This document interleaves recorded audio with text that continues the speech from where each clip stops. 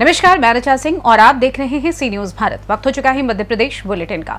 Madhya Pradesh bulletin में हम बात करेंगे लोकसभा चुनाव से लेकर कई अहम खबरों पर। जैसे आगर मालवा में मतगणना की तैयारियों की झलक दिखाएँगे। साथ ही बताएँगे कि भोपाल में ये दावा किया गया कि जल्द ही मध्य प्रदेश में अब सभी कर्मचारियों को मिलेगी पेंशन और जुन्नार देव की आग लगी की घटना पर भी डालेंगे नज़र। ऐसी तमाम खबरों पर होगी विस्तार से चर्चा। खबर आगर मालवा से है, जहाँ लोकसभा सामान्य निर्वाचन 2024 के अंतर्गत आगर और सुसनेर विधानसभा की मतगणना 4 जून को पॉलिटेक्निक महाविद्यालय आगर में सुबह 8 बजे से होगी। दोनों विधानसभाओं में ईवीएम की गणना के लिए 14-14 टेबल लगाई जाएँगी।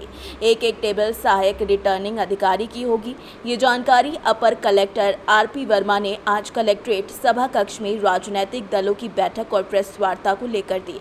विधानसभा आगर की मतगणना पॉलिटेक्निक टेक्निक महाविद्यालय आगर के कक्ष एफ़ थर्टी वन और सुसनेर की मतगणना एफ़ थर्टी में की जाएगी। उन्होंने बताया कि मतगणना केंद्र पर मीडिया कर्मियों के लिए मीडिया सेंटर स्थापित किया जाएगा। मीडिया कर्मी भारत निर्वाचन आयोग द्वारा जारी प्राधिकरण पत्र से मीडिया सेंटर तक प्रवेश कर सकेंगे। मीडिया कर्मियों को मीडिया सेंटर तक अपना मोबाइल ले जाने की अनुमति रहेगी। आगरमालवा से सी न्यूज़ संवाददाता अर्श अहमद कुरेशी की रिपोर्ट। खबर आगर मालवा से, जहाँ कलेक्टर राघवेंद्र सिंह द्वारा जिला चिकित्सालय आगर का वार्षिक रोस्टर निरीक्षण किया गया। कलेक्टर द्वारा चिकित्सालयीन व्यवस्थाओं और संधारित कार्यालयीन रिकॉर्ड का अवलोकन किया गया। साथ ही रोगी कल्याण समिति, स्टोर शाखा से संबंधित प्राप्त जानकारी, आवश्यक दिशा निर्देश स्वास्थ्य विभाग के अधिकारियों को दिए गए। कलेक्टर ने जिला चिकित्सालय के मेल वार्ड में भर्ती मरीजों का हाल जाना और स्वास्थ्य सेवाओं और मरीजों को मिलने वाली अन्य सुविधाओं के बारे में जानकारी प्राप्त की और मरीजों से संबंधित सुविधाओं के संबंध में पाई जाने वाली कर्मियों को दूर किए जाने के लिए निर्देश सिविल सर्जन को दिए गए। कलेक्टर ने एनआरसी यूनिट पोषण पुनर्वास केंद्र kitchen, vaccination room, emergency ward सहित अन्य वार्डों का निरीक्षण कर प्राप्त जानकारी की गई। इस अवसर पर SDM Sarvesh Yadav, civil surgeon सह मुख्य अस्पताल अधीक्षक doctor Shashank Saxena, RMO doctor Jitendra Kaithwal, सहायक प्रबंधक अस्पताल प्रशासन राहुल पांड्या, स्टोर शाखा और आर आरकेएस प्रभारी, राजेंद्र कुमार, अटल और कमलेश कुंभकार और अजय शर्मा उपस्थित रहे। आगरमालवा से सीनियर संवाददाता अर्श अहमद कुरेशी की रिपोर्ट। खबर भोपाल से जो मध्य प्रदेश में अब सभी कर्मचारियों को पेंशन मिलेगी। आचार संहिता खत्म होते ही संविदा कर्मचारियों को राष्ट्रीय पेंशन योजना के दायरे में लाने की तैयारी की जा रही है। ऐसा कहना है सत्येंद्र जैन, भाजपा प्रवक्ता का। भारतीय जनता पार्टी की सरकार, कर्मचारी हितैषी भी है। सभी वर्गों का ध्यान रखने वाली है उसी श्रृंखला में एक कदम है। लगभग जो संविदा कर्मचारी है मध्य प्रदेश में, डेढ़ लाख से अधिक उनको इस योजना का लाभ नहीं मिल रहा था।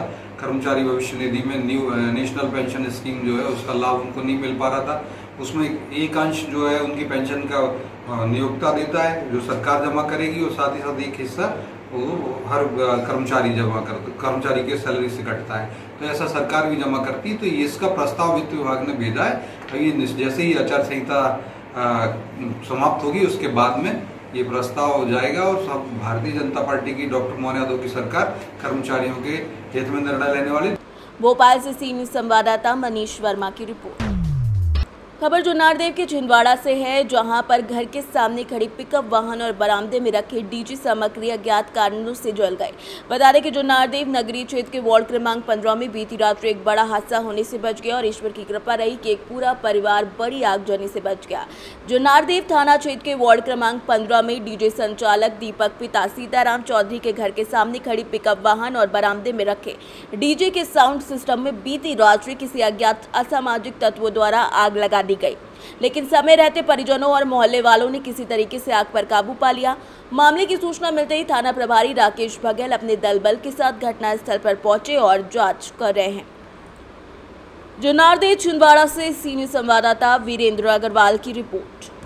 फ़िलहाल मध्य प्रदेश बुलेटिन में बस इतना ही। देश दुनिया की तमाम खबरों की जानकारी के लिए आप देखते रहें सी न्यूज़ भारत। हर खबर आपके साथ, आपके हाथ।